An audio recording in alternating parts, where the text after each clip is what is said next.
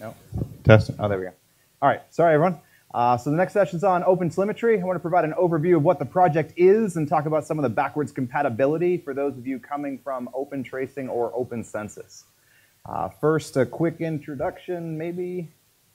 Let's see. All right, cool. My name is Steve Flanders. I'm head of product and experience at a stealth startup called Omnition. We are in the observability space based out of California in the United States. Uh, if you're interested in learning more about observability or what I do, I've provided some links here at the bottom. All right, so some background. Uh, I'm going to start by talking about open tracing and open census. You may have heard of open tracing because it's a CNCF project. Uh, you may have heard of open census because it's very popular in Google Cloud Platform, GCP, or in Microsoft Azure. Um, both of them use open census today. So let's provide some background here. When we talk about observability, or you might hear the word telemetry, there's really three different verticals. You may have heard about the three pillars of observability, which is basically tracing, metrics, and logs. Uh, but there's also a few different layers for each of those verticals. You have the instrumentation APIs, how you actually get tracing data, metrics, and logs. You have the implementation detail of how you're going to pull that data out and send it to the back end of your choice. You have the data infrastructure to support that and actually be able to query over it. And then, of course, the various different formats. Uh, as it turns out, this is a pretty complex problem because on top of the verticals and layers, there's also a polyglot of different languages that you could have written in, and you have to solve that problem for each of those languages. So there were two projects that existed. One was called Open Tracing, the other was called Open Census. They were similar, they were not the same. So Open Tracing came out first. I think it came out in about 2016. Basically, it solved one vertical, tracing. All it did was tracing. It had one layer, an API, just the API for the instrumentation aspect. It was loosely coupled, supported a ton of different languages, and was broadly adopted. It's already part of CNCF, so that shows that it was widely used.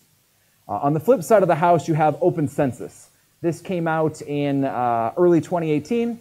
It actually attacked both traces and metrics. So it solved two different verticals. Not only that, but it addressed both the API as well as the implementation. So it was the first solution to provide an end-to-end uh, solution to this problem space. It was more tightly coupled in terms of the frameworks and instrumentations and libraries that it supported. Uh, it did support a, a, broad set of languages, five of them in beta, and it was broadly adopted. Now, just looking at this slide, you can see that there's some amount of overlap. Uh, and these each had pros and cons. Let's talk about the cons. Uh, open tracing only addressed tracing but I'm assuming most people use metrics and logs today, so you probably want more than just tracing.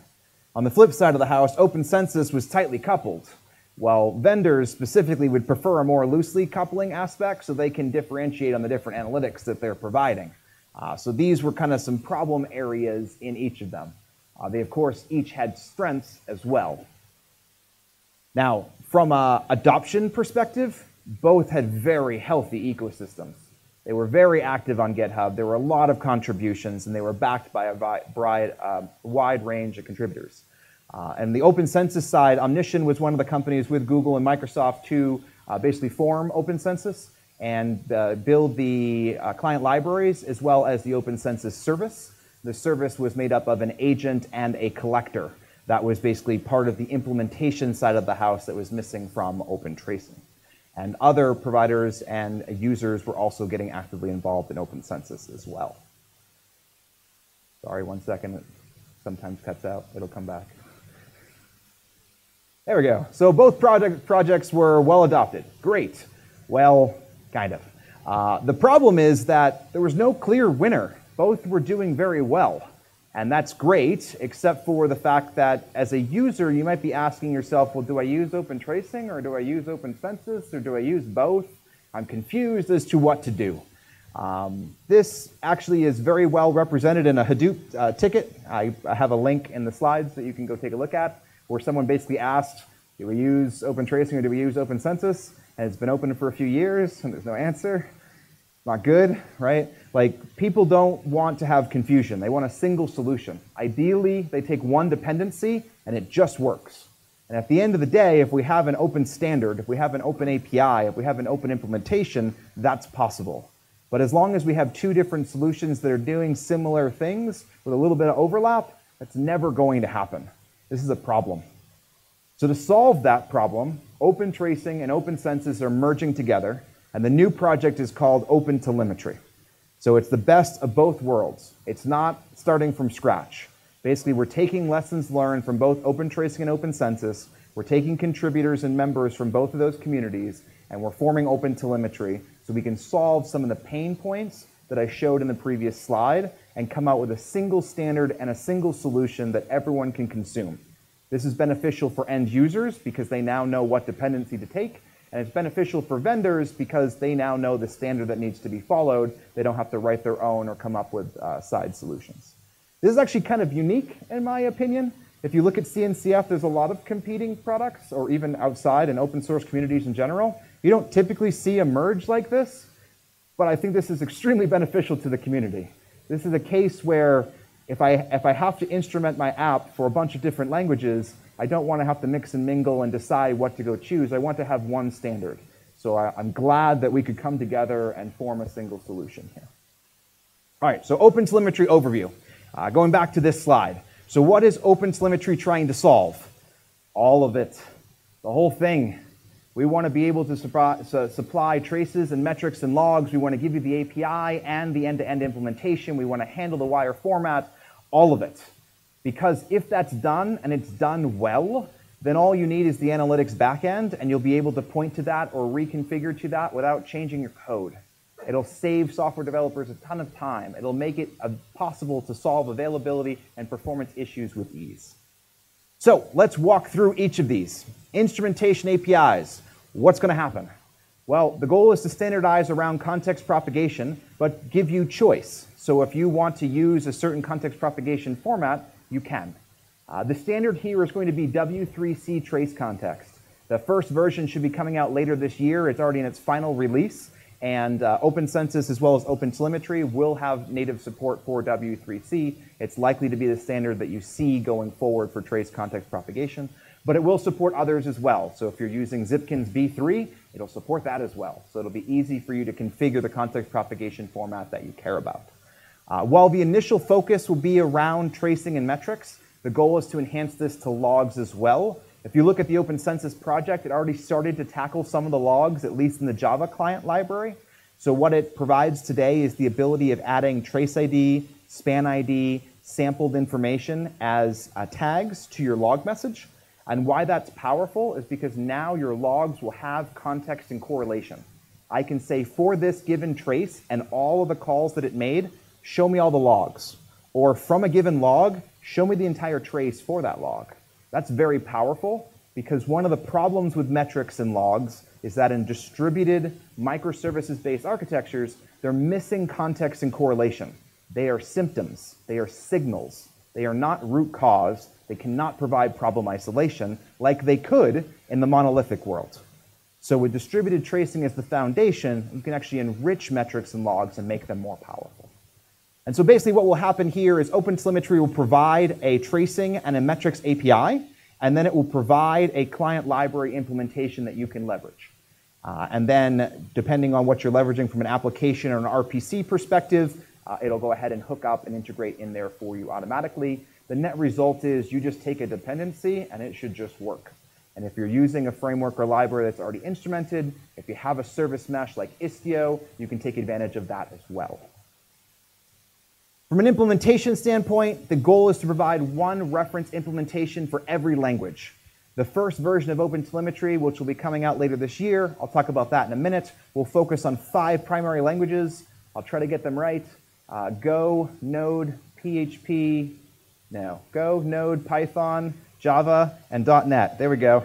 Second time and I got it. uh, but there, all the libraries will be supported going forward. SIGs or special interest groups are firing up right now if you're interested in contributing to them. In fact, I think I just saw one for C++ and C Sharp that's just getting started. Uh, so if you're interested in another language, please get involved. I mentioned the W3C trace context propagation, uh, and the goal is to have a wire format for tracing metrics and logs. Uh, from a tracing perspective, OpenCensus already has a wire format. OpenTelemetry will have one as well based on the best practices that we've learned so far. Data infrastructure, data collection, if you will. So Open Census had something known as the Open Census service. I mentioned that. It had an agent and a collector. OpenTelemetry will have a similar piece of functionality that you can leverage if you want. The goal is that it will support all popular open source software automatically. So for example, for tracing, that Zipkin and Jaeger. From a metrics perspective, that would be Prometheus and StatsD. Um, so that'll just work out of the box, but it's a pluggable architecture. So commercial vendors can also provide what we call receivers and exporters into that architecture, uh, and you can take advantage of that as well. Many of them are already available. You can, of course, write your own if you have your own custom implementation as well. Uh, the goal is to support both tracing and metrics to start, but logging will come. So there's questions about like FluentD and what does that mean. We'll get there. Uh, we're not there yet, but those questions will be answered. Uh, and then the agent and the collector provide a ton of additional benefits and feature functionality. One of the questions earlier at the Jaeger session was, I don't want to use an agent. Uh, well, the, the agent's actually very powerful. From a client instrumentation perspective, I can now point to localhost, which means I don't have to reconfigure my application ever. Localhost is, is always there. So I can deploy this application anywhere, and I'll know that it gets to the agent. In addition, the agent provides buffering and retry capabilities and batching capabilities. Those are things you'd have to add to your client libraries in every language that you're running in otherwise. That's overhead for your applications. You probably don't want overhead for your application. So ideally, you uh, defer that to the agent, let the agent handle it locally, and then it can send to a collector. The collector can be used for sending this uh, over a WAN. So if you have latency or uh, high throughput of traffic, so you need to buffer or cache more of that data. The collector also offers advanced functionality like tail-based sampling, Sampling is very common in the distributed tracing world, but to date it's been mostly head-based, at least from a open source perspective. Uh, the OpenCensus service was the first open source software to have tail-based sampling open sourced and available. Typically, you'd have to get that from a proprietary vendor. Uh, OpenTelemetry will offer tail-based sampling as well if you're interested in that functionality. OpenTelemetry goals. So let's talk about the elephant in the room because this is kind of important. I mentioned open tracing. I mentioned open census. I mentioned open telemetry. I said we were going to add the two, one plus one, and we're going to end up with not two, but one. Uh, well, this kind of sums it up perfectly. The fear is we just invented another standard called open telemetry, and now you'll have three choices. No, no, that's not the goal. One of our goals is to prevent this from happening. So, how are we going to prevent this from happening? And the answer is we're going to provide backwards compatibility, and we're going to sunset open tracing and open census. What does sunset mean? Those repositories are going to go read only by the end of the year. That's the plan. So we're basically working right now to make the first version of open telemetry that'll be available later this year. Right now we're targeting September for the five major languages that I already mentioned. Uh, and then by the end of the year, by hopefully KubeCon North America, we will announce the sunset or the made read-only version of Open Tracing and Open Census. But what we're going to do is provide a bridge that has full backwards compatibility. So if you're on Open Tracing or Open Census, you don't have to do anything by the end of the year. It will still work with Open Telemetry. You have nothing to worry about.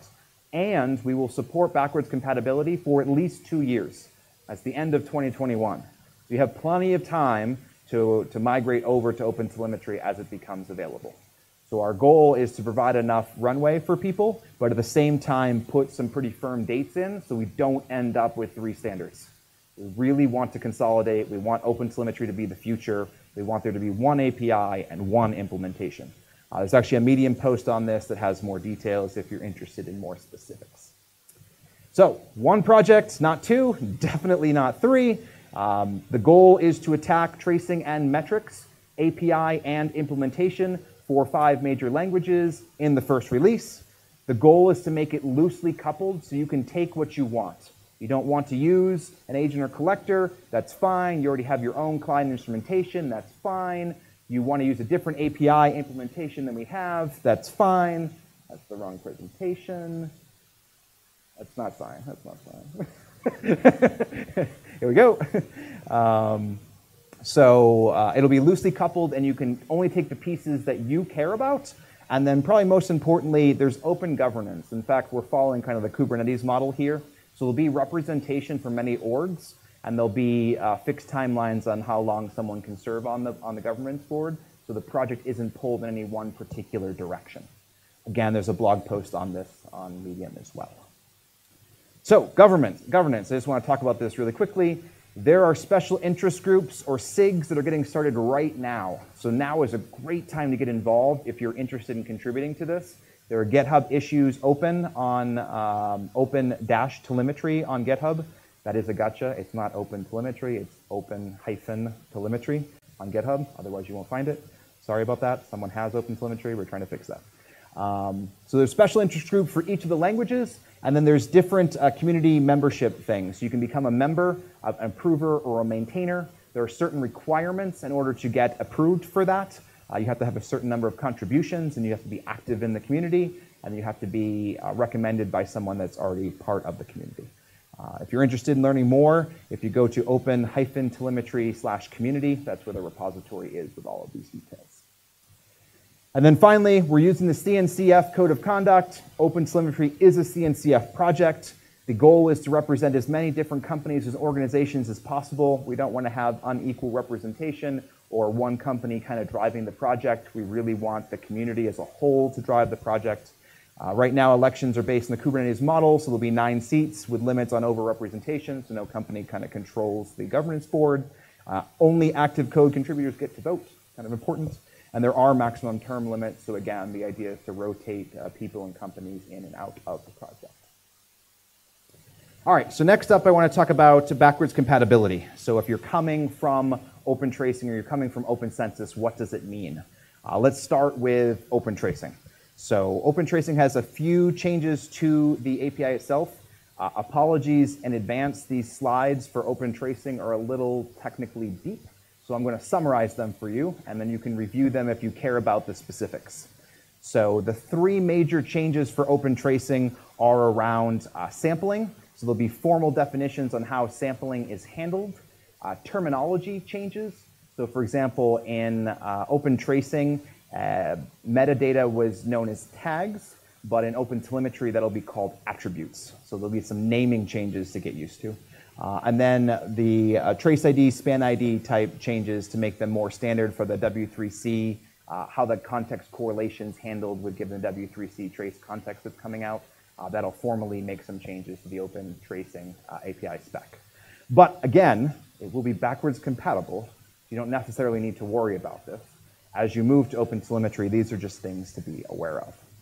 Uh, as I mentioned, there's some names, naming changes, so tags are attributes, logs become known as events, um, these slides are uh, attached to the session on the scheduler builder, so it should be easy to get them if you're interested.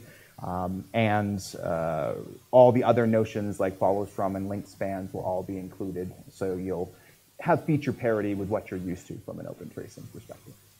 Uh, the tracer itself will also have uh, some changes. So for example, instead of ending a trace, uh, that terminology, that function call will be removed. Hopefully you'll see it in a second. Instead, it will probably support flushing. Uh, you see the word probably. We're still defining the new API and specification. That's actively going on right now. Uh, but consensus right now is that trace.close will probably go away and trace.flush will probably be introduced instead.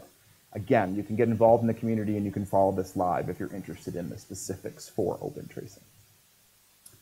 For open census, uh, the story is uh, a little bit easier. The, the primary change is that there will be a clear separation between the API and the implementation.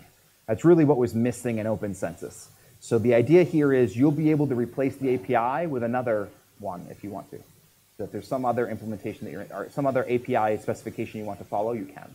Uh, previously, that was not possible. It was tightly coupled with the actual implementation itself. So divi uh, dividing that and clearly separating the two provides more choice for end users. That's a lot more flexible model and basically what the inherent ask is. Uh, other than that, uh, the instrumentation API is going to change a little bit, but not, none of the specifics are going to really impact you. Uh, I do want to kind of walk through what a migration might look like from Open Census because it's kind of interesting visually. Uh, so today, let's say that you have a service or an application written in whatever language, let's use Go, uh, and you go ahead and you leverage the Open Census client library. Uh, it actually has an API and an implementation. I said that they're tightly coupled. That's how OpenCensus is today. So once OpenTelemetry, the first version, comes out, what you would basically do is you would take a dependency on the API and the implementation, but that will happen automatically. You'll just basically upgrade OpenCensus. So what OpenCensus is going to do very soon is they're going to do a cutover.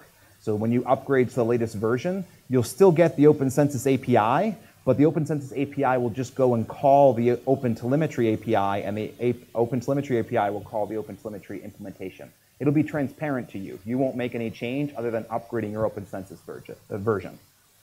Then you will eventually take a dependency on the OpenTelemetry library itself. So that's a code change that you make. Uh, that gives you a clear separation between using OpenCensus and OpenTelemetry and provides a bridge as you make this migration over. And then finally, you would remove your dependency on the OpenCensus uh, library once you're ready to do the full cutover.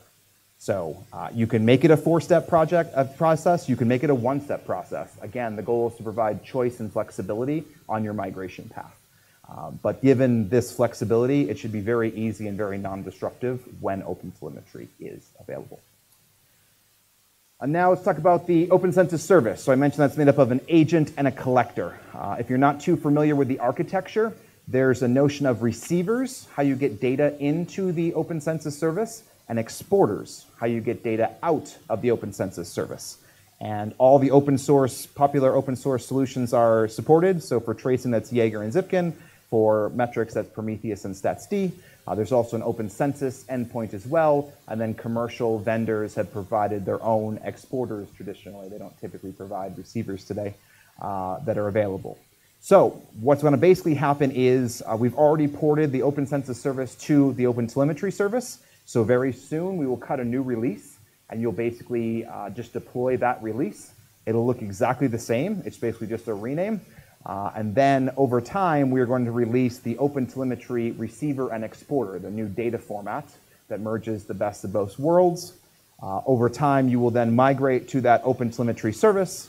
Once you have fully migrated over, then eventually in two years, when backwards compatibility gets removed, uh, we will remove Open Census as a receiver as it will no longer be necessary. So again, the transition should be pretty smooth and seamless for you, especially from the service perspective, given that Open Tracing didn't have uh, a service today. Uh, this is basically a, a, port over from the Open Census service itself. Uh, with that said, there are some architectural changes that are being made. They'll be transparent to you, but uh, the agent and collector code bases are based on the same uh, code, but they're not identical. We're moving to an identical binary for both with just different configuration options and we are looking to overhaul the configuration that was used in Open Census service. So in OpenTelemetry, there'll be a new standard way of defining it that's much more scalable uh, and enterprise ready. So that should be available here probably in the next month. Very soon we'll be cutting the next release of this. You can follow the OpenTelemetry service to get more details. Okay, so let's summarize because I threw a lot of words at you. Uh, what's next? The first version of OpenTelemetry is expected by the end of this year. We'll have support for five languages. I'll try again. Go, Node, Python, Java, .NET. Hey, first try. Nice. There will be a bridge between OpenTelemetry and OpenTracing and OpenCensus. So if you're using OpenTracing and OpenCensus, keep using it. It will work. It will be okay. In fact, if you plan on instrumenting today, like in a greenfield environment, you have to use Open Tracing or Open Census. Open Telemetry is not ready yet. It will be ready, we're working on it, but it's not ready yet. So if you need instrumentation today, go look at Open Tracing and Open Census. Uh, we try to mark that in the repositories. So if, for example, if you go to the Open Telemetry service, it clearly says, please go use the Open Census service. Uh, so we're trying to make it clear to the community what's going on, but at the same time be transparent as new features are available. The goal is to sunset read, that means read only. So going forward, there will be no changes to the open tracing or the open census GitHub repository by the end of the year. That's the current target. Um, those repositories will remain in read-only mode for at least two years with backwards compatibility. That backwards compatibility should last through 2021. Of course, if dates slip here, then we'll give you specific dates. Uh, but right now, these are our targets. And then uh, Open tracing has some changes to the terminology, the context propagation, and sampling, as I already mentioned. And Open Census will have a clear separation from the API and the implementation. Those are probably the key takeaways here uh, from the differences as well as the compatibility and the merging between them. Now, of course, we'd love to have you be involved in this community. Now is a great time to get involved, right? So if you're interested in a particular language, if you have feedback on direction, if you want to contribute to the website or the documentation, we'd love to have that as well. Um, the OpenTelemetry community is, is very active right now. There is a debate on whether we're going to be on Gitter or Slack. Right now we're on both. Uh, but you can come find us in one of those two forums and definitely post your questions there. Or, of course, you can open GitHub issues as well. Uh, all of the SIGs are documented on the OpenTelemetry community page. They have uh, weekly or bi-weekly meetings with meeting links in there, and you're definitely welcome to join. Uh, if it's not in a friendly time zone, please open a GitHub issue, right? We want to make sure that the community can be involved. And if that means having every other meeting being in a different time zone, we are definitely open to that. Um, so the more feedback you provide, the better that we can make the community for everyone. And with that, I'd like to open it up to some questions. When is FluentD coming? nice. I think there's actually a GitHub issue open for this. So again, the initial, so when is FluentD coming is the question. Uh, the initial focus is traces and metrics. So for the end of this year, I wouldn't expect to see any logs. Uh, it's possible if we are able to consolidate and get everything done quickly, we'll get it by the end of the year. But I suspect when is it coming? I would guess next year. That would be my hypothesis. Um, what you may see is the ability of adding uh, trace ID, span ID, sampling ID, like you saw in Open Census. That might come early, but any native integration with FluentD or what that looks like, today uh, our guidance would be just continue using FluentD like you have been, and you can enhance the log messages if you want inside of your application using OpenTelemetry. Long term, we can see if there will be changes uh, to things like FluentD. Uh, that was probably going to be maybe KubeCon North America. I'll have a better answer as to timelines. This is towards the end of the year. But right now, that isn't the highest priority. The highest priority is really sunsetting Open Census and Open Trace. Yeah. Oh. Can you talk a bit to open metrics and how that relates to the open telemetry project? So open, the Open Metrics project is primarily a data format project. So it's the format for sending metrics out over the wire. Um, initially, the thought was to keep that separate, uh, but Open Census actually has a format for sending trace data. So we are actually in active talks with the Open Metrics and Prometheus folks about this. Uh, the talks are still early, but there may be some ability to join efforts there as well. So that is likely to happen sooner than, say, logging, primarily because tracing and metrics are the top priority to start with. But there is some amount of overlap there. Um, with that said, my understanding, which may be incorrect, is that open metrics is still a little early. Um, so we're just trying to make sure we're involved in the conversations and they understand the direction that we're going in as well to see if there are some synergies there and if we can help John. Other questions? And open census. Open tracing and open census they provide a capability to uh, you know configure uh, the application from the environment itself right? So will open telemetry have that kind of capabilities? When you say from the environment itself, what do you mean? Uh, so say I want to connect to a Jaeger collector for all the traces, right? So I, my application can read stuff from the environment right? Which auto configures the applications to send it to the given collector. So you're asking about like environmental variables yeah. and such. Yeah, okay. So um, yes, uh, Jaeger supports environmental variables today. Open Census supports environmental variables today. The expectation is that OpenTelemetry will as well. Uh, in addition, the goal is to provide more integrations. So for example, uh, Open Census in the ecosystem repository actually supported a webhook admission controller to Kubernetes, where it could actually tag in via environmental variables uh, pod information. So for a given application, I could figure out what pod it was running on when it generated that trace. What we're looking to do is to provide even better native hooks. Like, wouldn't it be ideal if the agent could just tag that on and I didn't have to modify the app pod?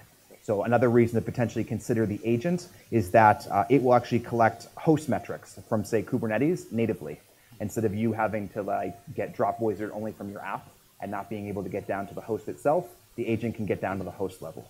Um, so yes, the goal will be to support environmental variables and ideally provide as much native integration as possible. So again, you have flexibility and choice. You can turn off and turn on what you care about. So this is more of a terminology question. Uh, so what is your definition of uh, the difference between telemetry and uh, observability? Uh, good question. So observability is a common term that came out in the cloud native era, or as you move to more microservices.